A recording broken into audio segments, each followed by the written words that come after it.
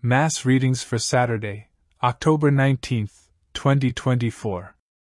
Isaac Jogues and John de Brebeuf, priests, religious, missionaries, martyrs, and companions, Martyrs Obligatory Memorial.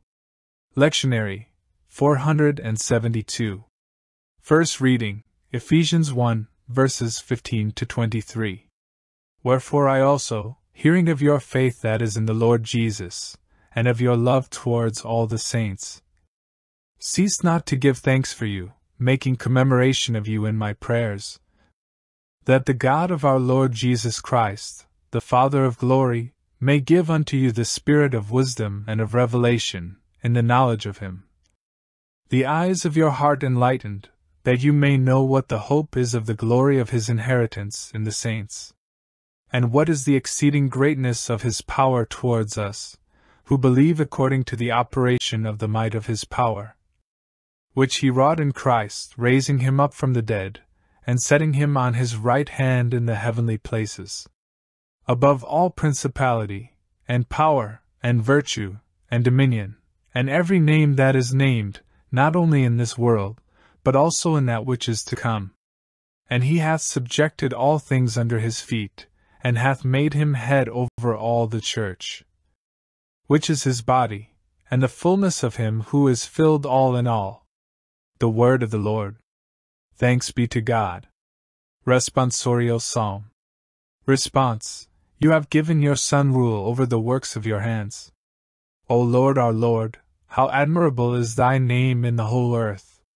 For thy magnificence is elevated above the heavens.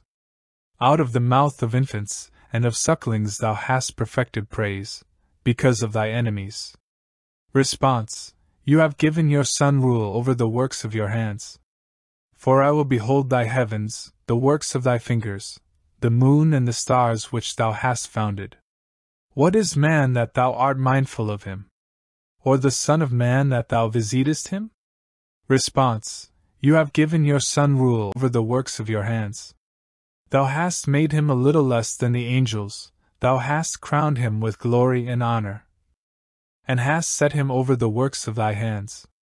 Response You have given your Son rule over the works of your hands. Alleluia. Alleluia, Alleluia. The Spirit of truth will testify to me, says the Lord, and you also will testify. Alleluia, Alleluia. Gospel, Luke 12, verses 8 to 12. And I say to you, Whosoever shall confess me before men, him shall the Son of Man also confess before the angels of God.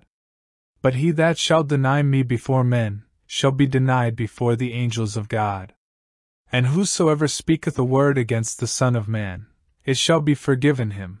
But to him that shall blaspheme against the Holy Ghost, it shall not be forgiven. And when they shall bring you into the synagogues, and to magistrates and powers, be not solicitous how or what you shall answer, or what you shall say.